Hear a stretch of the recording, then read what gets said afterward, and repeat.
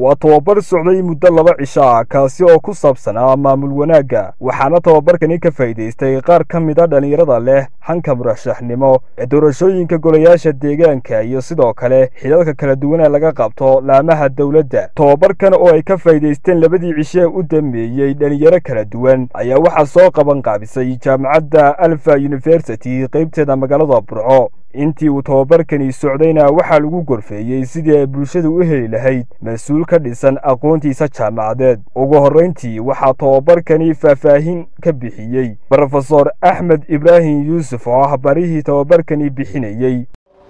Maanta waxaan ku soo gabagabaynay tababar aan u wadnay dhallinyarada hankoodu yahay inay xil qabtaan oo isu sharxaan golayaasha deegaanka iyo baarlamaanka ayaan u wadnay tababarkan waxaanu kaga hadlayna waxa la yidhahda maamul wanaagga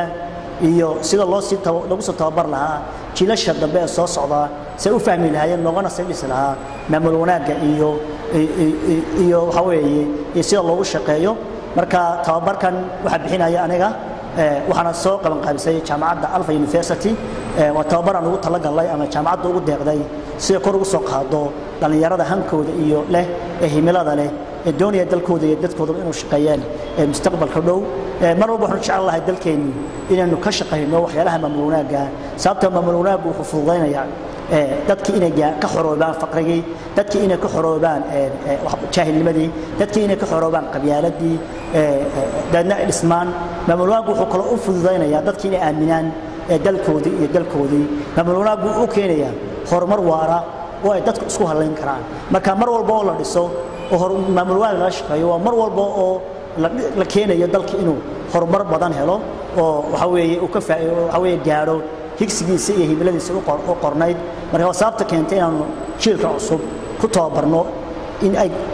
waxa weye maamul wanaaggii siday u anfacaan naftoodii si ay wax badan ugu soo celiyaan dalkoodii oo aynu kor ugu sii soconno jaamacadda alfa yunifersity qaybteeda magaalada burco oo ka duulaysa sidii ay bulshadu u heli lahayd aqoon-yahan aqoontiisu sarrayso ayaa waxay noqonaysaa jaamacaddii ugu horreysay ee tababarkani u qabata dhallinyarada leh hanka murashaxnimo ee golayaasha deegaanka iyo sidoo kale iyo xidhaalka kala duwan ee laga qabto goobaha kale. Cabdiraxmaan cabdilaahi xasan telefishinka caalamiga ee som news magaalada burco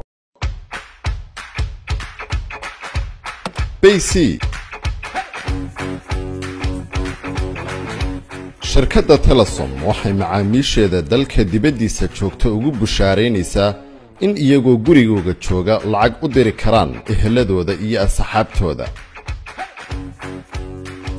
Abka bay c waxaad si fudud lacag ugu diri kartaa adigoo gurigaaga jooga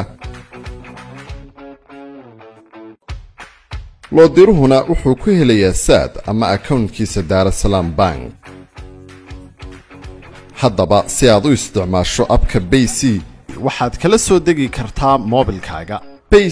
si fudud lacag ugu dir adigoo gurigaaga jooga